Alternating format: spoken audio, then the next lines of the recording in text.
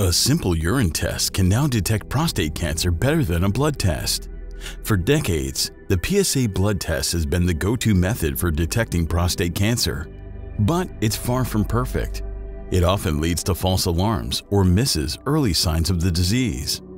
Now, researchers may have found a much better alternative. In a groundbreaking study, scientists used artificial intelligence to analyze gene activity in thousands of tumor cells. The result? A new set of urine-based biomarkers that can accurately detect not just the presence of prostate cancer, but also how severe it is. These biomarkers showed higher accuracy than PSA tests, and they're non-invasive, painless, and cheap.